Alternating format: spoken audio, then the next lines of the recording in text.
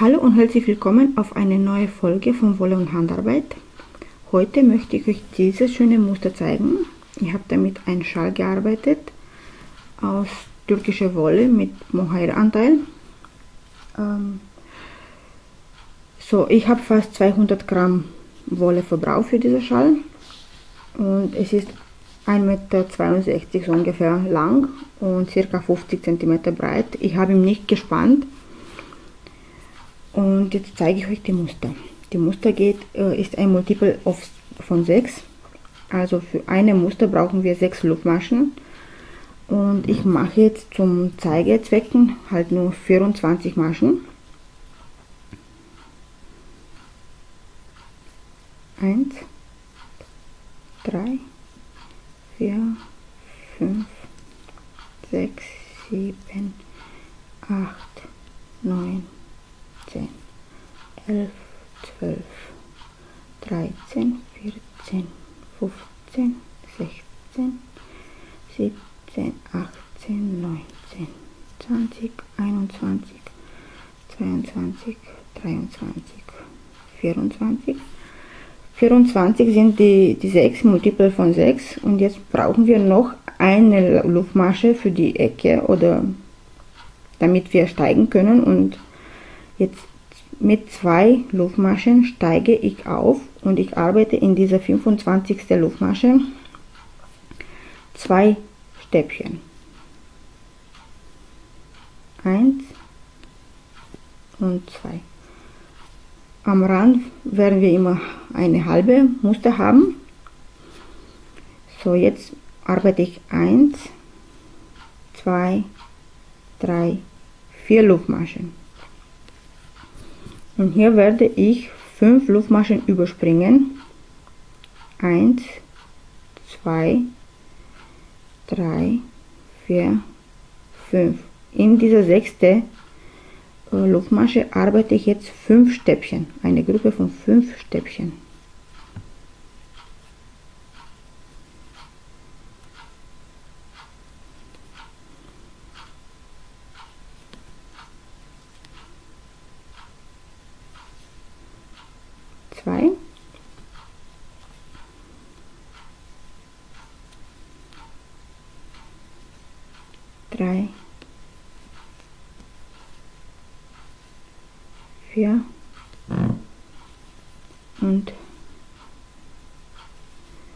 5 Stäbchen, wieder 4 Loopmaschen, 1, 2, 3 und 4.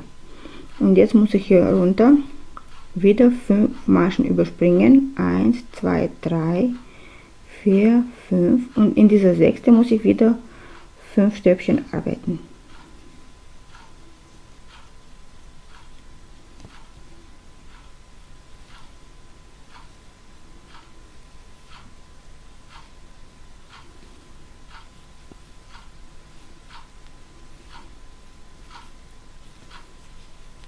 Vier und 5. Jetzt wieder 1, 2, 3, 4 Luftmaschen. Und ich muss hier wieder überspringen. Also 1, 2, 3, 4, 5 und in die sechste muss ich wieder so eine Gruppe arbeiten von 5 Stäbchen. 1,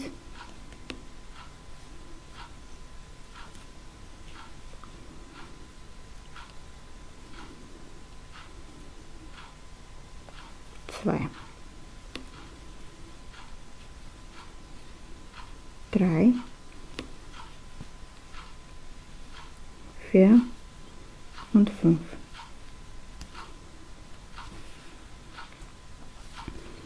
Jetzt mache ich wieder eins, zwei, drei, vier Luftmaschen.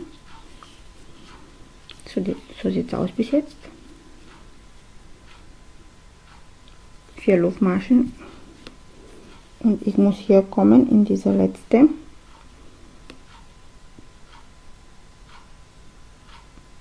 und hier drei Stäbchen arbeiten eins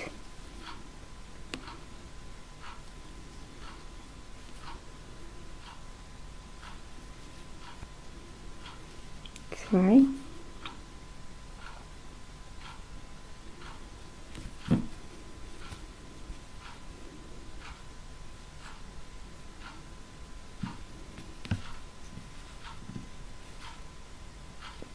und drei Stäbchen. So sieht die erste Reihe aus. Für die zweite Reihe oder zweite Musterteil arbeite ich zwei Luftmaschen zum Steigen.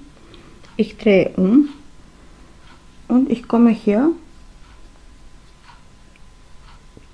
in dieser, dieses Loch und ich arbeite hier drei Stäbchen. 1,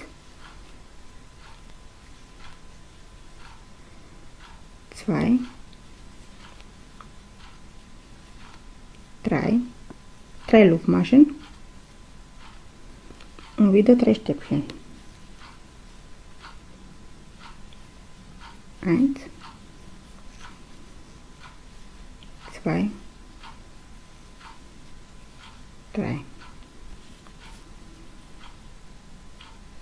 Das ist so eine, eine Gruppe.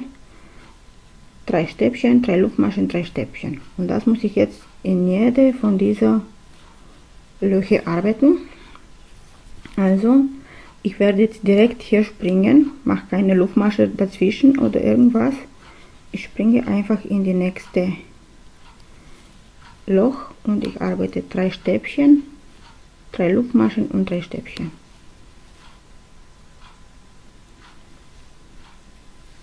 Eins, zwei, drei.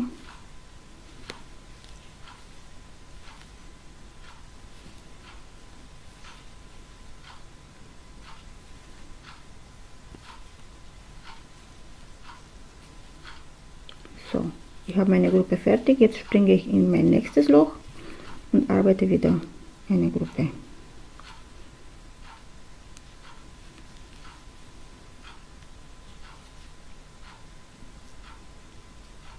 Eins,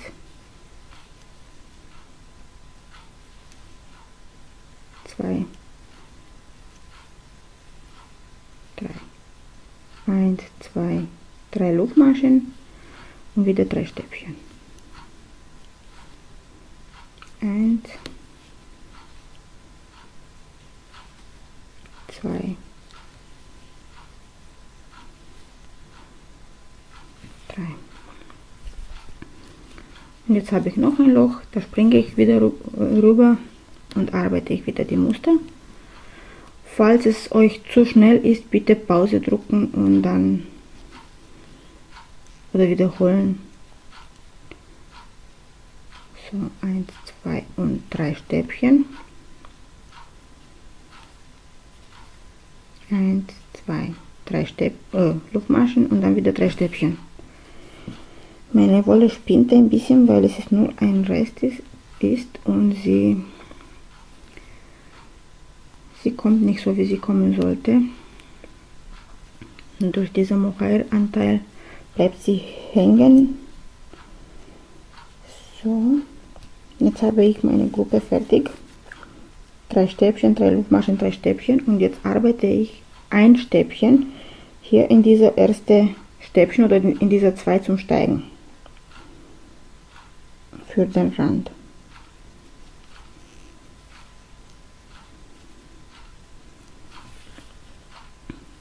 Schauen Sie, was ich gemeint habe die kommt nicht so, wie sie kommen sollte.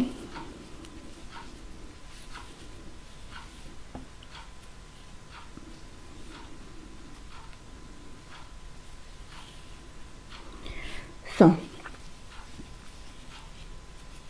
Jetzt müssen wir wieder steigen. Eins, zwei, drei, vier und fünf Luftmaschen zum Steigen. Und ich drehe jetzt um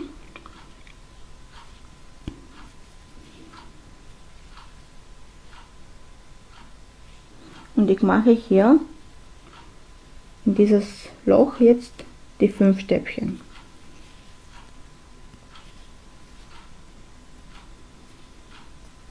Eins,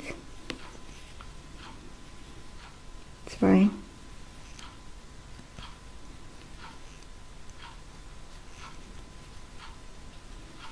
drei, vier. Und wieder arbeite ich vier Luftmaschen.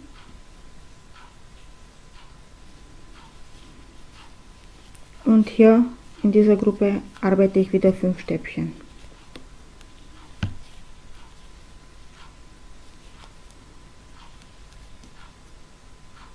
Eins, zwei,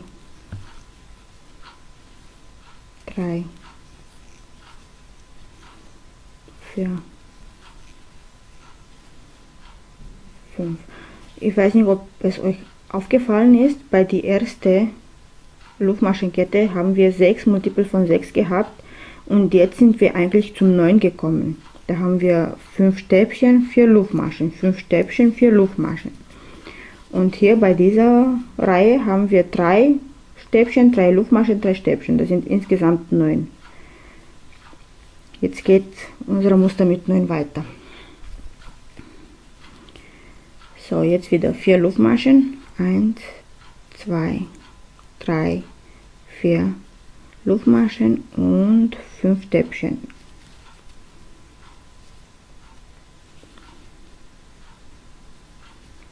Soll ich vielleicht den Tuch weiter tun, damit ihr sehen könnt? Vielleicht könnt ihr besser sehen dann.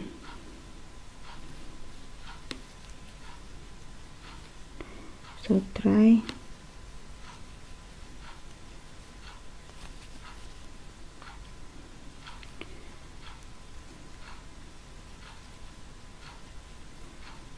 Vier und fünf. Wieder vier Luftmaschen. Eins, zwei, drei, vier. Und hier in dieses Loch fünf Stäbchen.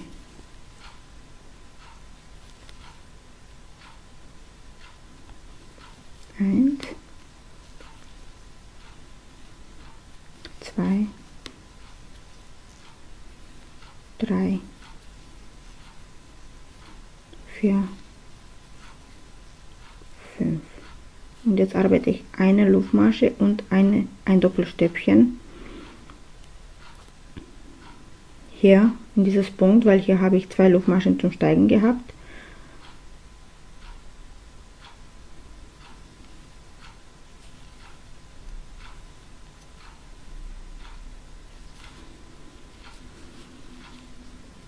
So, so sieht jetzt die Muster.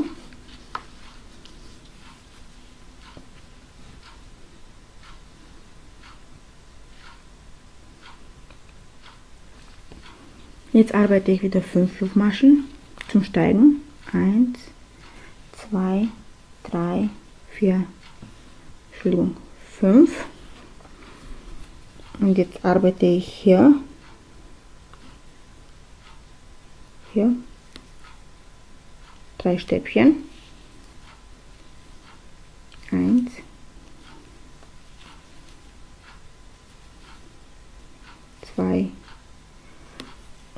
3.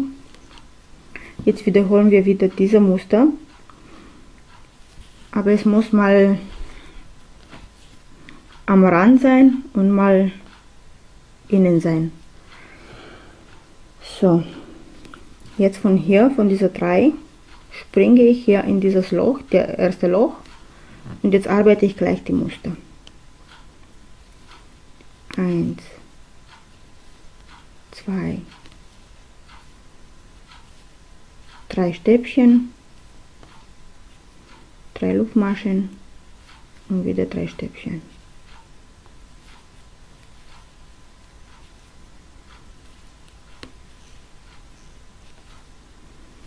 Und jetzt springe ich wieder hier.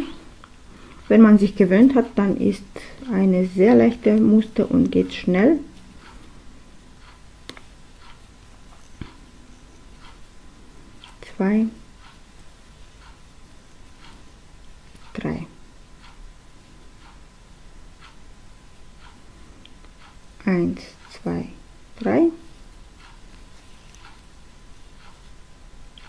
Stäbchen,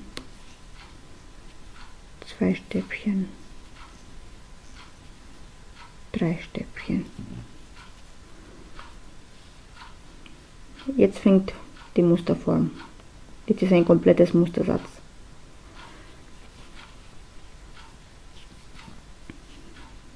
So, jetzt springe ich weiter hier.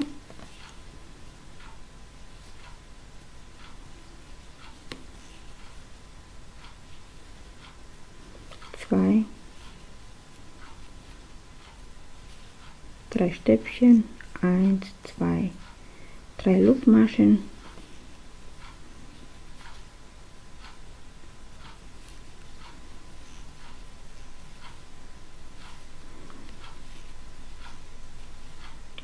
Jetzt habe ich das Video sehr wenig gestoppt und ich habe fast dort gearbeitet.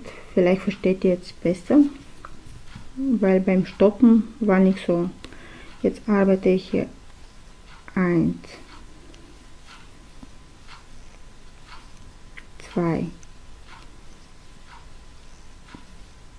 3 Stäbchen, eine Luftmasche und wieder ein Doppelstäbchen. Den Doppelstäbchen schaue ich, dass ich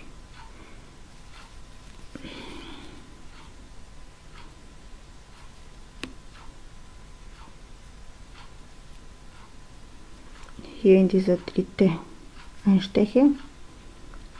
Das geht aber ein bisschen, ich sehe nicht durch die Kamera genau, wo die Luftmasche ist. So, jetzt habe ich geschafft.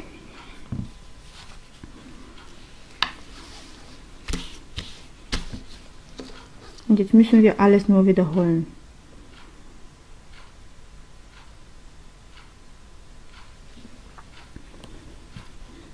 So, 1, 2 zum Steigen und hier gleich wieder zwei Stäbchen. Das ist jetzt die erste, die überhaupt erste Reihe, das wir jetzt wiederholen. Also muss ich hier diese drei Stäbchen haben, genauso wie hier und dann die vier Luftmaschen 1 2 3 4 und jetzt mache ich in dieses Loch diese fünf Stäbchen 1 2 3 4 5 Einmal wiederholt sich diese, diese erste Reihe und einmal die nächste. Immer wieder kommt zum Wiederholen. Aber alle vier sollen wir haben. Ich hoffe, ihr habt es verstanden. Das war jetzt mein, meine Muster, um euch zu zeigen. Der Schal ist hier. Und wenn ihr schaut, kommen äh die Löcherchen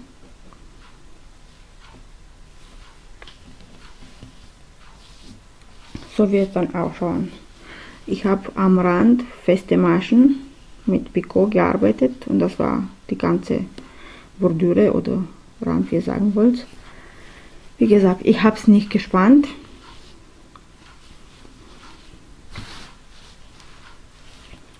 So, ich danke fürs Zuschauen. Ich freue mich, wenn ihr mir eure Sachen zeigt. Ich habe ja eine Facebook-Gruppe Wolle und Handarbeit und eine Seite auf Facebook, auch Wolle und Handarbeit. Oder ihr könnt auf meine Seite wolle-handarbeit.eu und ihr könnt, könnt euch da registrieren und mir eure Bilder zeigen. Das wäre wirklich sehr schön von euch. Danke fürs Zuschauen.